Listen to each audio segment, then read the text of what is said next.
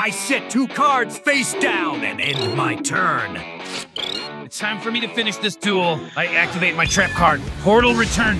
This allows me to return one monster from either player's graveyard back to their hand. I choose Obelisk. Why is he returning Obelisk to my hand? What is he up to? Now I activate the magic card exchange. You know exactly how this works. So you plan to summon my god card? Actually, I don't. He has no monsters on the field. How is he going to summon Obelisk? Oh, what's the matter, Kaiba? Are you perplexed by my strategy? The only thing that perplexes me is your bad beer breath. I know exactly what you're planning. Once again, you underestimate my superior dueling skills.